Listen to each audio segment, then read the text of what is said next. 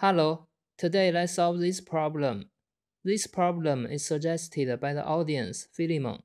This is a quadratic form problem in the linear algebra. We will use the eigenvalue and eigenvector method to solve it. In the last slide, we will make a plot to verify the result, so keep watching to the end. And let's get started.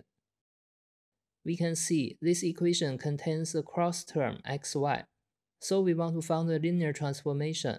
For example, to transform the xy coordinate to the alpha beta coordinate. And in the alpha beta coordinate, this equation doesn't contain any cross terms. First, we take the quadratic terms only. And we write it into a matrix form. We define this matrix as a capital A. Next, we want to find the eigenvalue of this matrix.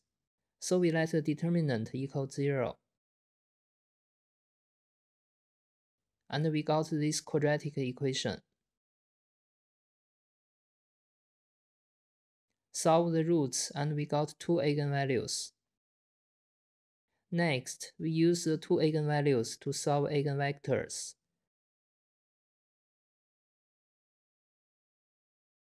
From these two equations, we got two eigenvectors. I copy them here. From these two eigenvectors, we got the matrix P. Then we use matrix P to connect the xy coordinate and alpha beta coordinate. So we got these two equations for the coordinate transformation. Then we plug them into the original equation to replace xy. After simplify it, we got the desired equation in alpha-beta coordinate. So it's a parabola, and we are done for the question 1.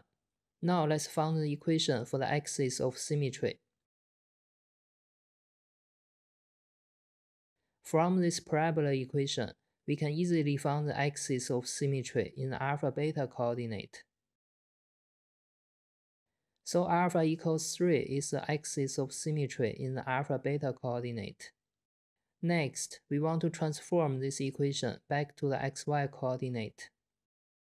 So we plug in alpha equals 3 to above equations. And we got here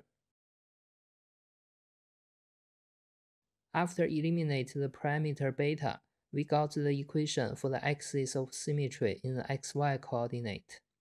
Finally, let's make a plot to verify our result.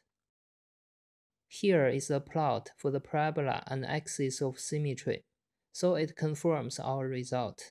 And don't forget to subscribe my channel and give a like.